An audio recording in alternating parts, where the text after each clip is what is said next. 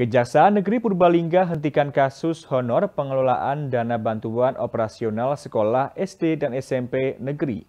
Selain itu, kerugian negara 8,9 miliar rupiah lebih akibat kasus tersebut juga telah dikembalikan oleh penerima honor.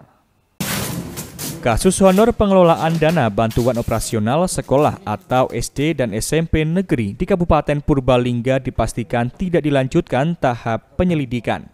Hal itu disampaikan Kepala Kejaksaan Negeri Purbalingga Agus Hairudin saat kegiatan press release bidang tindak pidana khusus di Aula Kejari.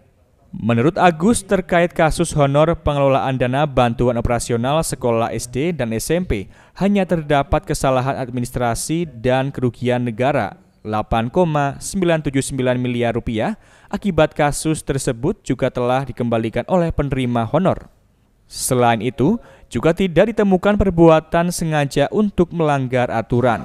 Anggap ini adalah kesalahan administrasi antara KKS, K3S, dan tentunya dari dinas sendiri untuk menjelaskannya. Seperti itu. Kami berkesimpulan bahwa memang kasus ini tidak kami lanjutkan ke tahap penyelidikan dan kami nyatakan juga kami hentikan. Demikian. Artinya tidak ada mensreanya Pak ya? Iya. Jadi niat jahatnya tidak tidak tidak tidak terlihat. Iya.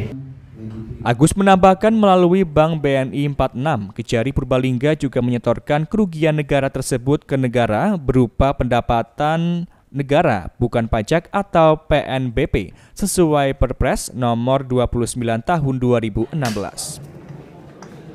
Dari Purbalingga, Tarnowo, Satelit TV, mewartakan.